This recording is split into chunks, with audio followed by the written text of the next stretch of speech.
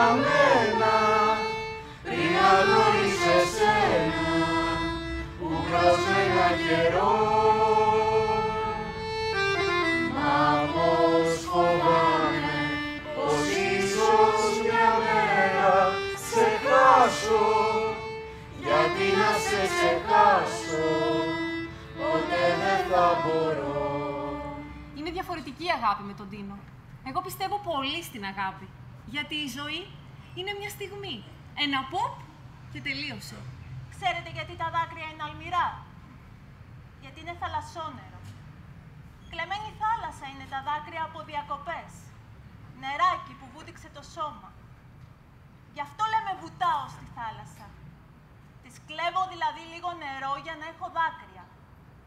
Και αν έχεις μπει πολλές φορές στη θάλασσα με τ' άλλο σώμα, αν έπαιξες μαζί τους σε άπατα νερά χαράς, άπατη θα είναι και η λύπη σου. Δεν ξέρω για σας. Σε εκείνη η εκδρομή της ήρθε στο μυαλό όταν πάγωσε η εικόνα. Η εκδρομή μαζί.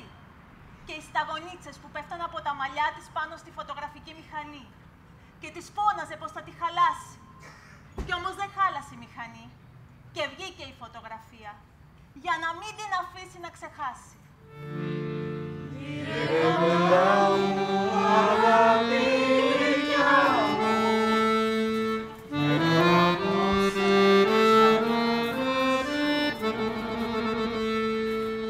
Música